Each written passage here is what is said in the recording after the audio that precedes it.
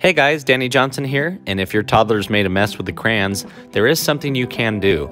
And so uh, all you really need is a sponge, and you're going to want to use the backside that has that abrasiveness to it, and a little bit of dish soap really helps. So make sure it's a wet sponge, and uh, you're just going to scrub right over the crayon, and it helps to scrub in the direction that the crayon was put onto the table.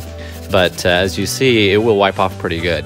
I've also been able to do this on some furniture and uh, the walls, but you want to be really careful not to scratch anything. So this table isn't going to matter. It's hard plastic, but uh, you might want to be very careful if you are trying it on a wall or something like that.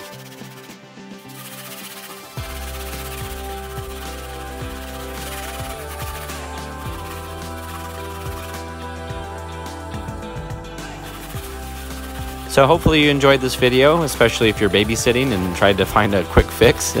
and uh, please feel free to subscribe to the channel for all kinds of other uh, auto repair and DIY stuff. Thanks for watching.